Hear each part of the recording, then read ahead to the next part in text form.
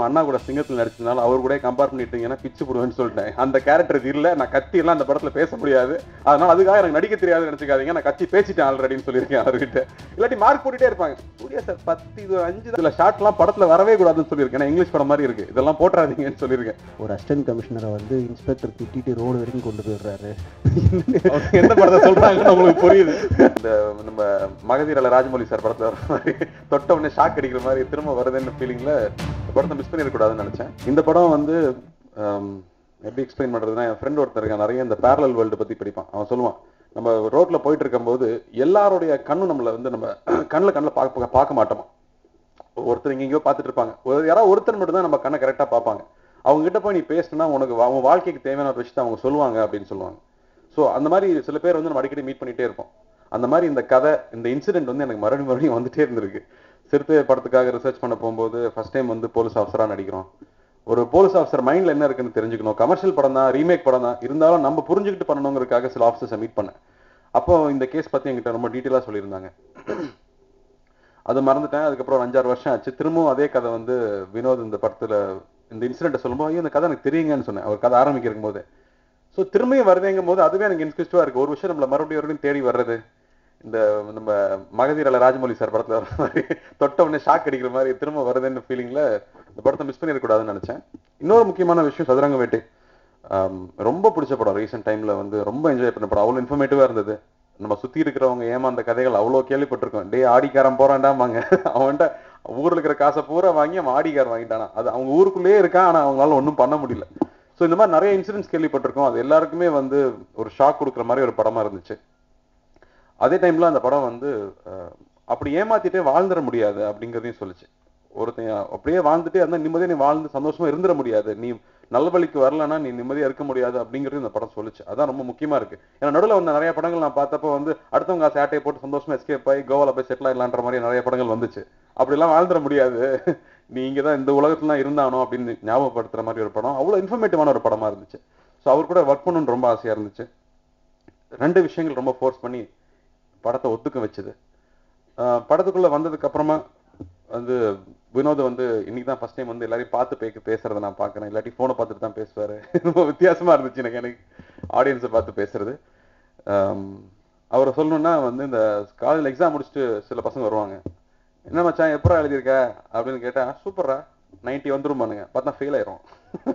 அது என் ஃப்ரெண்ட் ஒருத்தர் இருக்கான். ஆனா இவர் வந்து டூ மார்க்ஸ் வந்து பத்து அட்டன் பண்ணியிருக்கேன். லாங் ஆன்சர் நாலு அட்டன் பண்ணியிருக்கேன். பாஸ் ஆயிருவேன். அப்படின்னு தெளிவா கணக்கு போட்டு சொல்ற ஒரு ஒரு பையன் இருப்பான் இல்லையா காலேஜ்ல அந்த மாதிரி வினோத். ஸோ வந்து ஒரு படம் எடுத்துட்டு வந்தோம்னா இந்த படத்தை எடுத்துக்க எடுக்க போறோம் அப்படின்னா சார் இதெல்லாம் நம்ம நினைச்சதை விட பெட்டரா வந்திருக்கு. இதெல்லாம் சரியா வரல. இதெல்லாம் கரெக்ட் பண்ணணும் அப்படின்னு டிஸ்டன்டாவே இருந்து படத்தை பார்க்கறது ரொம்ப முக்கியமா இருக்குது ஆப்ஜெக்ட் ஒரு டைரக்டர் இல்லாட்டி இது பர்சனல் ஆயிட்டு ஐயோ நம்ம எடுத்த ஷாட் அழகாக இருக்கு. இது படத்துல வரணுமே அப்படின்னு திணிச்சோம்னா அந்த கதையில செட் ஆகாம போயிடும். ஸோ ஒரு ஒரு ப்ராடக்ட்டை தள்ளி இருந்து பார்க்கக்கூடிய அந்த பேலன்ஸ் அவர்கிட்ட இருக்கு. அந்த நிதானம் அவர்கிட்ட இருக்கு அப்படிங்கிறது எனக்கு ரொம்ப ஆச்சரியமா இருக்கு. ரெண்டாவது படத்துல அது இருக்கிறது பெரிய விஷயம். அதே மாதிரி எந்த விஷயமா இருந்தாலும் படிச்சு வச்சிருப்பாரு. நாங்கெல்லாம் ஷூட்டிங் ஸ்பாட்ல ஏதாவது அவசரமா தேவைப்படனா கூகுள்லாம் சர்ச் பண்றது இல்லை. அவர்கிட்ட கேட்டுறது. அவர் தெளிவா சொல்லுவாரு. சார் இதை வந்து இந்த இந்த வருஷத்துக்கு முன்னாடி இப்படி இருந்தாங்க அப்படின்னு. எல்லா விஷயங்களை பத்தியும் தெளிவா படிச்சு வச்சிருப்பாரு. ஒரு விஷயத்த தெரியல சொல்லும் போது அது வந்து கரெக்டா இருக்கணும். கமர்ஷியலா போயிடுறோம் ஆனாலும் ஒரு இன்ஃபர்மேஷன் கரெக்டா இருக்கணுங்கிறதுக்காக ரொம்ப மெனக்கிடுவார். ஒரு ஒரு ஒரு ஒரு கிரியேட்டருக்கு அது ரொம்ப இம்பார்ட்டண்டா இருக்கு. சொல்ற விஷயம் கரெக்டா சொல்லணும் அப்படிங்கிற அந்த ஒரு ரெஸ்பான்சிபிலிட்டி அவர்கிட்ட நான் பார்த்தேன். அதே மாதிரி வித்தியாசமான இசை கேட்கிற ஆளு. அதனாலே வித்தியாசமான இசையும் இந்த படத்துல வாங்கியிருக்காருன்னு சொல்லுவேன் ஸோ அவர் கூட ஒர்க் பண்ணது எனக்கு ரொம்ப இன்ட்ரெஸ்டிங்காக இருந்துச்சு. நிறைய பேர் கேட்டாங்க இந்த படத்துக்கு என்ன மெனக்கெட்டுறீங்க? என்ன மெனக்கெட்ட விடல? சண்டை போட வச்சிருக்காங்க படம் ஃபுல்லா பட் இந்த சீனுக்கு இவ்வளவுதான் தேவை சார் இதுக்கு மேல இடம் இல்லை சார் இவ்வளவுதான் சார் இந்த சீனுக்கான டைம்னு சொல்லி. எல்லாத்தையும் டைம் லிமிட் பண்ணி தான் நாங்கள் ஷூட் பண்ணோம். ஸோ அது எனக்கு ஒரு புது அனுபவமா இருந்துச்சு வினோத் கூட ஒர்க் பண்றது. அவ்வளோ இன்ஃபர்மேஷன் வச்சிருந்தார் அந்த கேஸ் பத்தின விஷயங்கள். அந்த படத்து இந்த கேஸ்ல ஒர்க் பண்ண சில ஆஃபீஸர்ஸ் ரிட்டையர்ட் ஆஃபீஸர்ஸ் கூட இந்த படத்துல அவர் நடிச்சிருக்காங்க சில பேர். ஸோ அதெல்லாமே வந்து எனக்கு ஒரு புது அனுபவமா இருந்துச்சு. ஏன்னா நிறைய இப்போ ஒரு ஜிபரன் பாயிண்ட் அவுட் பண்ணாரு உமை விலைகள் மாதிரி படங்களோ இல்லை புறன் மாதிரி படங்கள் வந்து நம்ம வந்து அஹ், படிச்ச செய்தியை வந்து திரைப்படமா நம்ம பார்த்துருக்கோம். அப்படி வந்து ஒவ்வொரு இயக்குனரும் வந்து வேற வேற காலகட்டத்துல அந்த மாதிரியான கதைகளை தொடும்போது வேற மாதிரி பிரசென்ட் பண்றாங்க. அந்த வகையில வினோத் தொடும்போது வேற மாதிரி ஒரு பிரசன்டேஷனா இன்னைக்கு இருக்கிற யங்ஸ்டர்ஸ்க்கு ரிலேட் பண்ணிக்கூடிய படமா அந்த படம் இருக்கும்னு நான் நம்புறேன். அதுக்கப்புறம் வந்து சத்யா மாயா பண்ணி முடிச்சிருந்தாரு. பிரபு பயங்கர ரெக்கமெண்டேஷன் சத்யா போயிடலாம் சத்யா போயிடலாம் சத்யா போயிடலான்னு என்னையா ரொம்ப விக்கிறீங்க சத்யாவை? என்ன நடக்குது அப்படின்னு. இல்ல இல்ல நல்லா பண்ணுவாப்பேன் நல்லா பண்ணுவாப்லன்னு சரி நானும் பாக்குறேன் அப்படின்னு சொன்னேன். ஒரு ஷூட்டிங் ஸ்பாட் வந்து இப்போதான் தெரிஞ்சுது. ஒரு ஷாட் எடுத்துட்டா அந்த ஷாட்டை ரசிக்கிற அளவுக்கு கூட டைம் வெயிட் பண்றது கிடையாது. அதுக்குள்ள அடுத்த ஷாட் போயிடுறது. ஏன்னா அங்கே அவ்வளோ ஷார்ட் எடுக்க வேண்டியது இருந்தது இன்னொரு முதலே சொன்னாப்ல சார் இந்த படம் நான் சிம்பிளா வந்து ஒரு அறுபது நாள் எடுத்துட முடியாது சார் இந்த படத்துக்கு. ஒவ்வொரு சீன் எடுத்துட்டாலும் அவ்வளோ ஷார்ட்ஸ் தேவைப்படுது. அவ்வளோ விஷயங்கள் கவர் பண்ண வேண்டியது இருக்கு. ஸோ சத்யா வந்து அது எல்லாத்தையும் மேனேஜ் பண்ணாப்ல. அதுவும் நைட்லயே ஷூட் பண்ணதுனால வெறியில வந்து ராஜஸ்தானை கொண்டு போய் கொடுத்த உடனே சில ஷார்ட்லாம் படத்துல வரவே கூடாதுன்னு சொல்லியிருக்கேன். ஏன்னா இங்கிலீஷ் படம் மாதிரி இருக்கு. இதெல்லாம் போட்டுறாதீங்கன்னு சொல்லியிருக்கேன். அந்த மாதிரி ஷார்ட்ஸ் வந்து சத்யா எடுத்து கொடுத்துருக்காப்ல. அவர் கல்யாணம் ஆன கதையோ கையோட ஒரே வாரத்தில் நாங்க தூக்கிட்டு போயிட்டோம். ஒர்க்கு பாவம். பட் அவர் சந்தோஷமா தான் இருக்காருன்னு நம்புறேன். கதிர் சார் போலீஸ் படம்னால கதிர் சார் வந்தே ஆனும் போல இருக்கு. கதிர் சார் பொதுவா வந்து வித்தியாசமான கதை இருந்தா கொடுங்கன்னு சொல்லுவாரு. ஆனா அவரா வந்து ஒரு வித்தியாசமான மறுபடியும் போலீஸ் கதையில வந்து ஒர்க் பண்ணியிருக்காரு. அவர் சொன்ன சவால்கள் வந்து பயங்கர இன்ட்ரெஸ்டிங் நானும் வந்து ராஜஸ்தான் போறோம். அஹ், ஊருக்குள்ள எல்லாம் ஷூட் பண்ண போறோம். எந்த பிரச்சனையும் இருக்காது. க்ரௌட்லாம் நம்ம எந்த டிஸ்டர்பன்ஸ் இல்லாம நீட்டா ஷூட் பண்ணிட்டு வந்துடலாம் அப்படின்னு சொல்லி மார்க்கெட்ல போய் இறங்குறோம். இறங்குனோன்னே ஏ நம்ம கார்த்தி சார் அப்படின்னாங்க ஏய் இன்னும் நடக்குதுங்கன்னு பார்த்தா ஃபுல்லா நம்ம இது ஜிபி ரோடு சவுகார்பேட்டில் இருக்கிற மக்கள் ஃபுல்லா அங்க இருக்காங்க. ஆமா சார் தலை தீபாவளிக்கு வந்தேன் சார்னு சொல்லி ஒரு அங்க ஒரு ஃபேமிலி இருக்கு. நவராத்திரி பூஜைக்கு வந்தேன் sir so full and full நம்ம ஆளுங்க தான் இருக்காங்க. ஷூட்டிங் நாரிடுச்சு ஷூட் பண்ணி முடிக்கிறதுக்குள்ள. ஸோ அங்கேயும் அதே மாதிரி சவுண்ட் வந்து நம்ம இந்தியெல்லாம் பேச வேண்டிய அவசியம் இல்லை. ஓரம் போயா அப்படின்னா போறப்பா இருப்பா அப்படின்னு ஒரு பத்து பேர். ஸோ அந்த ராஜஸ்தான்ல ஷூட் பண்ணது எனக்கு ரொம்ப புதுசா இருந்துச்சு. அதுவும் இல்லாம நம்ம எல்லா படங்களும் ஹிந்தியில டப் பண்ணிடுறதுனால நம்ம ஆட்டோகிராஃப் வாங்குற அளவுக்கு நம்ம பிரபலமா இருக்கோம் ராஜஸ்தான்ல கூட. Um, மியூசிக் பத்தி சொல்லணும் ஜிப்ரான் கிட்ட. Um, இப்போ வந்து நம்மளுடைய டிராவல் பொறுத்து தான் பாட்டே அமையுது. காலைல உட்காந்த உடனே காரில் உட்காந்த உடனே கேட்கறக்கு ஒரு பாட்டுன்னா செவத்தப்புள்ள இருக்கு. உட்காந்த உடனே மார்னிங் ஃப்ரெஷ்ஷாக ஆரம்பிக்கிறதுக்கு ஒரு மூடுக்கு ஒரு சாங் இருக்கு. சிக்னல்ல ரொம்ப நேரம் சிக்கிட்டோம்னா ஐயோ அப்படின்னு இருக்கிறப்போ அதுக்கு ஒரு ஐட்டம் சாங் இருக்கு. நல்லா கேட்கற அளவுக்கு. எனக்கு அந்த ஐட்டம் சாங் ரொம்ப பிடிச்சிருக்கு ஆக்சுவலா அங்கதான் நம்ம ஒரிஜினாலிட்டி வெளியே வருது.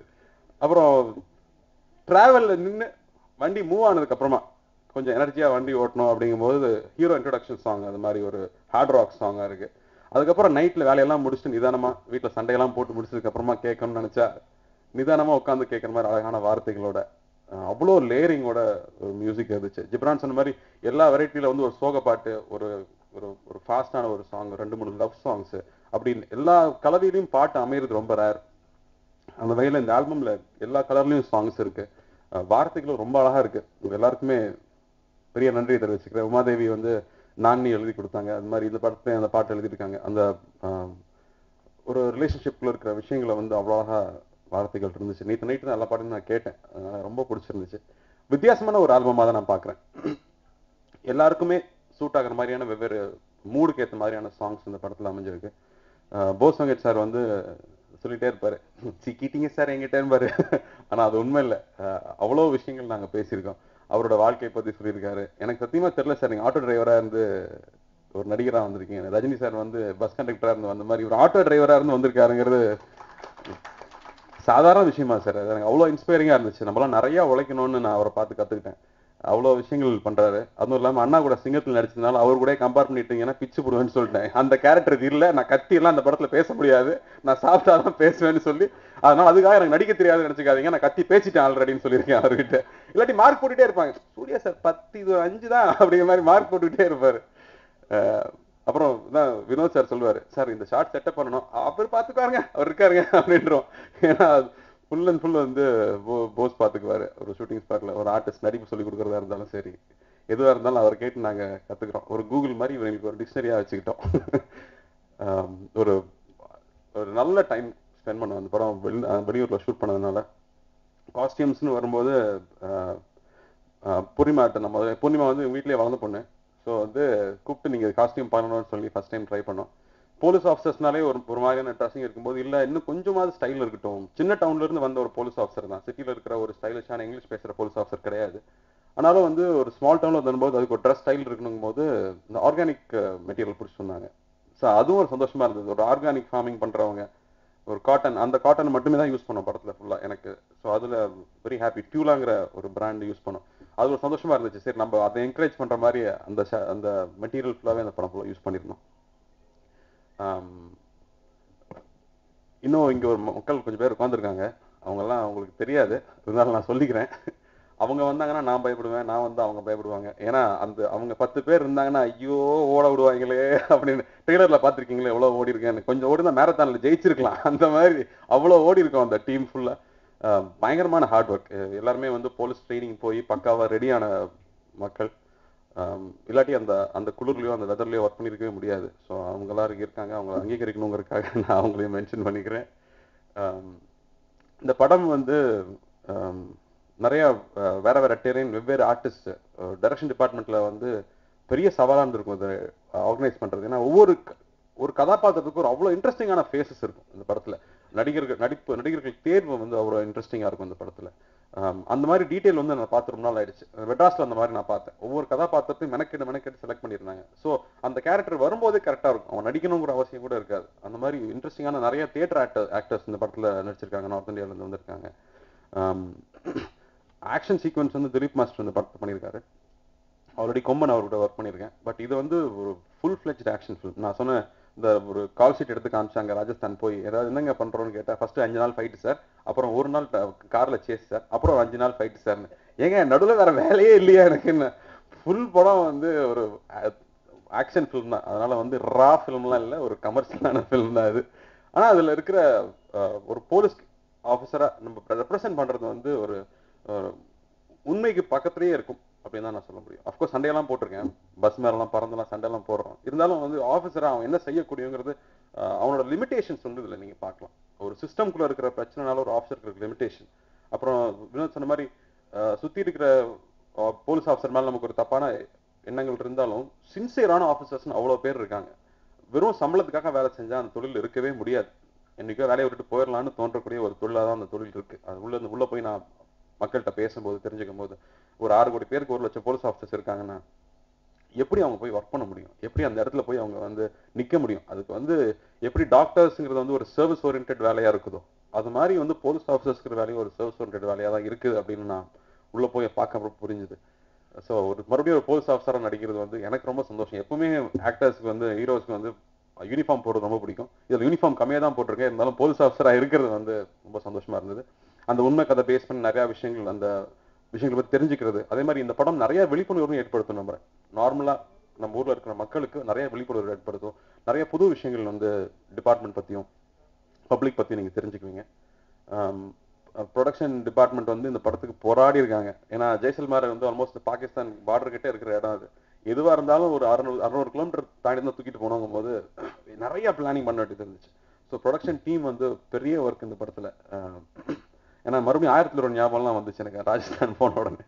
ஏன்னா அந்த குளிர் மார்னிங்ல எவ்வளவு கோல்டா இருக்கும் மத்தியானத்துல அந்த அளவுக்கு எக்ஸ்ட்ரீம் வெயிலா இருக்கும். பட் அவ்வளோ என்ஜாய் பண்ணோம். அண்ட் இந்த படத்துக்கு வந்து ஹீரோயின் வந்து யார் போகலாம் யார் போகலாம் யார் போகலாம் நிறைய யோசிச்சு யோசிச்சு யோசிச்சு கடைசியில் வந்து ராகுல் ஃபைனலைஸ் பண்ணோம். டைரக்டருக்கு எனக்கும் நம்பிக்கையே வரல. அவங்களுக்கு நான் வந்து அடிக்கடி மெசேஜ் எல்லாம் அனுப்புவேன். இது பாருங்க தமிழ் பொண்ணுங்க இந்த மாதிரி தான் எங்க ஊர்ல ட்ரெஸ் பண்ணுவாங்க இப்படி தான் போ இப்படிதான் இருப்பாங்க அப்படின்னு படம் ரெஃபரன்ஸ் எல்லாம் வேற அனுப்புறேன். பட் அவங்க வரும்போது பார்த்தா எல்லாம் புரிஞ்ச மாதிரி பர்ஃபெக்டா இருந்தாங்க. அவங்களோட காஸ்டியூம்ஸ் இருக்கட்டும் அவங்களோட பெர்ஃபார்மன்ஸ் ஆகட்டும். இதுக்கு முன்னாடி அவங்க மற்ற படங்களை பார்த்தது மாதிரி இல்லாம இந்த படத்துல வந்து வேற ஒரு பெர்ஃபார்மன்ஸ் நான் பார்த்தேன். ரொம்ப ரியலா ரொம்ப நேச்சுரலா இருந்துச்சு. ஷூட்டிங் ஸ்பாட்டே சந்தோஷமா இருக்கும். ஏன்னா வெறும் ஆம்பளைகளே பார்த்து பார்த்து ஷூட்டிங் ஸ்பாட்ல ஃபைட்டா எடுத்து முடிச்சு கடைசியா தான் நாங்க எல்லா அஹ், ராகுல் கூட இருக்கிற சீன்ஸ் எடுத்தோம். ஸோ ஷூட்டிங் ஸ்பாட்டே சந்தோஷமா இருக்கும். பாட்டு போட்டுக்கிட்டு இருப்பாங்க. லைட் தூக்கிட்டு போறவர் கூட ஜாலியா இருக்கும் ஒரு மூட்ல போவாரு. ஸோ ஹீரோயின் வந்தோடனே எப்பவுமே சாங் மாதிரி ஷூட்டிங் ஸ்பாட்டும் ஜாலியா இருந்துச்சு. நிச்சயமா அவங்களுக்கு ஒரு முக்கியமான கேரக்டரா இருக்கும் முக்கியமான ஞாபகம் வச்சுக்கிற படமா இருக்கும் நான் நம்புறேன். சாங்ஸ்ல அதே மாதிரி சத்யா அவங்கள காமிச்ச விதமாகட்டும் அவங்க பெர்ஃபார்ம் பண்ண விதமாகட்டும். இந்த படம் வந்து ஒரு ஆனஸ்டான அட்டம்ப்டா இருக்கு. அவர் என்ன கேட்டாரோ அதை மட்டும் நான் பண்ணி கொடுத்துருக்கேன். எக்ஸ்ட்ரா எதுவும் பண்ணல. பட் மியூசிக் ஆகும். எல்லா டிபார்ட்மெண்ட்டோட ஒர்க்கும் அவங்களோட பெஸ்ட் எஃபர்ட் அந்த படத்துக்கு கொடுத்துருக்காங்க. ஸோ படம் நல்லா வந்திருக்கு. எங்கேஜிங்கான ஃபில்மா இருக்கு. அவர் சொன்ன மாதிரி எங்கேஜிங்கான ஃபில்மா இருக்குன்னு நான் நம்புறேன். ஸோ உங்க சப்போர்ட் எப்பவுமே இருக்கும்னு தெரியும். Uh, பட் uh, இந்த மாதிரியான தருணங்களில் தான் எல்லா விஷயங்களும் ஷேர் பண்ணிக்க முடியும். ஒரு படத்தில் ஒர்க் பண்ண எக்ஸ்பீரியன்ஸ் ஏன்னா ஒவ்வொரு படம்ங்கிறது ஒரு ஆறு மாசம் ஒரு எட்டு மாசங்கிறது ஒரு லைஃப்ல போயிடுது. பட் அதுல நிறைய விஷயங்கள் கத்துக்கிறோம். Um, அந்த வகையில இந்த படம் வந்து பெரிய லேர்னிங்கா இருந்திருக்கு. ஒரு புது டீம் கூட ஒர்க் பண்றது. Um, போலீஸ் ஆஃபீஸர்ஸ் பத்தின பல விஷயங்கள் புதுசா நான் கத்துக்கிட்டேன் இந்த படத்துல. ஸோ இந்த படம் பெரிய வெற்றி பெறணும்னு ஆண்டவனை வேண்டிக்கிறேன். மழையாக பேஞ்சிக்கிட்டு இருக்கு. இந்த டைம்ல நல்லபடியா படம் வந்து ரிலீஸ் ஆகி ப்ரொடியூசர் சேஃப் ஆகணும்னு நான் ஆண்டவனை வேண்டிக்கிறேன். நன்றி. இல்ல நான் வந்து இப்போ டிஎஸ்பி ட்ரைனிங் பத்தி நான் கேட்டேன். அதாவது எப்போ வந்து ஒரு நார்மலா சிட்டிசனா இருக்கிற ஒருத்தன் வந்து ஒரு போலீஸ் ஆஃபீஸரா மாறுறான். அவனோட சிந்தனை எப்படி மாறுது? ஒரு விஷயத்த ஒரு போலீஸ் ஆஃபீஸரா ஆனதுக்கு அப்புறமா எப்படி பார்க்கறான் அப்படிங்கிறது ரொம்ப முக்கியமா இருக்கு. ஏன்னா நம்ம சொசைட்டில இருக்கிறவங்க தான் ட்ரைனிங் மூலமா ஆஃபீஸரா மாற்றப்படுறாங்க. ஸோ ஒரு டிஎஸ்பி ட்ரைனிங் பாத்தீங்கன்னா அவங்கள தூங்க விடாம அந்த ஒரு ஆறு மாசம் ஒரு வருஷம் ட்ரைனிங் பிசிக்கல் ட்ரைனிங்ல தான் வந்து ஃபிட்னஸே கொண்டு வராங்க. ப்ராப்பரா பிசிக்கல் ஃபிட்னஸ் இல்லாதவங்களை கூட வந்து ஒரு க்ரௌடில் போனா இறங்கி நம்மளால் நம்மளால ஹேண்டில் பண்ண முடியுங்கிற தைரியத்தை கொடுக்குறது இந்த ஃபிசிக்கல் ஃபிட்னஸ் அதுக்கப்புறம் அங்கே இருக்கிற கிளாஸஸ் அதுக்கப்புறமா ஃபீல்ட் ட்ரைனிங் இருக்கு. அந்த ஃபீல்ட் ட்ரைனிங்ல பார்த்தீங்கன்னா ஒரு நாளைக்கு ஒரு டூ ஹவர்ஸ் கூட தூங்க மாட்டாங்க. அந்த விஜிலன்ஸ் அப்படிங்கிறது எவ்வளவு முக்கியம். அந்த விஜிலன்ஸ்னால பல கிரைம் நடக்காம இருக்கு. ஆனா அந்த விஜிலன்ஸ்க்காக அவங்க தியாகம் பண்றது சாதாரண விஷயம் கிடையாது. டே அண்ட் நைட் நீங்க பாப்பீங்க. அதாவது ஒரு ஒரு ஒரு கார்ல ஒரு ஜீப்லயே உட்கார்ந்துட்டு இருப்பாங்க. அங்கேயே வாங்கி சாப்பிட்டுக்குவாங்க. எங்க பாத்ரூம் போவாங்க? அதை நம்ம எப்பாவது யோசிச்சு பார்த்துருக்கோமா? எப்பாவது ரெஸ்பெக்ட் பண்ணியிருக்கோமா? இல்லையா? டுவெண்ட்டி ஃபோர் ஹவர்ஸ் டஸ்ட்ல இருக்காங்க. நம்ம ஒரு செகண்டுக்கு வண்டியில போனா கூட கார்ல கண்ணாடி ஏத்திடுறோம் டஸ்டா இருக்கு அவங்க வெளியில நின்னுட்டு இருக்காங்க. பட் அந்த அவ்வளோ சாக்ரிஃபைஸும் அவங்க வந்து பண்றாங்க. அதை வந்து மனப்பூர்வமா பண்றாங்க. நிறைய ஆஃபீஸர்ஸ் அவ்வளோ சின்சியரா இருக்காங்க. அதெல்லாம் நம்ம யோசிச்சது கூட கிடையாது. இப்போ அவர் சொன்னார் இல்லையா ஒரு ஒரு பத்திரிகை செய்தியை வந்து அப்பா இவ்வளவு பேர் கொண்டுட்டாங்களா? ஓகேப்பா. அடுத்த செய்திக்கு போயிடும் நம்ம. பட் அதுக்குள்ள நடந்த விஷயத்த நம்ம யோசிக்கிறதே கிடையாது. ஸோ அப்படி நிறைய விஷயங்கள் நீங்க இந்த படத்துல நீங்க பார்க்கும்போது you will come to know about so many things ஒரு வெளிமாநிலத்தில் இருக்கிறவன் நம்ம ஆட்களை எப்படி பார்க்கறான் அப்படிங்கிறது கூட இந்த படத்துல இருக்கும். இதுல ஒரு ஆபீசர் ஒரு எஸ்பியை போய் பார்க்க போகும்போது அவங்க வந்து நான் போய் உட்கார கூட இல்லை. உள்ள போய் உட்கார கூட இல்லை. அவங்க பயங்கரமா திட்ட ஆரம்பிச்சாங்க. என்ன நினைச்சிட்டு இருக்கீங்க போலீஸ் பத்தி படங்கள்ல ரொம்ப மோசமா காட்டுறீங்க. ஒரு அசிஸ்டன்ட் கமிஷனரை வந்து இன்ஸ்பெக்டர் திட்டிட்டு ரோடு வரைக்கும் கொண்டு போயிடுறாரு. எந்த படத்தை சொல்றாங்கன்னு உங்களுக்கு புரியுது. என்ன என்ன நினைச்சிட்டு இருக்கீங்க அப்படின்னு சொல்லிவிட்டே அதெல்லாம் நடக்கக்கூடாதுன்னு தான் நான் உங்களை பார்க்க வந்திருக்கேன் அப்படின்னு சொன்னேன். உட்காருங்க.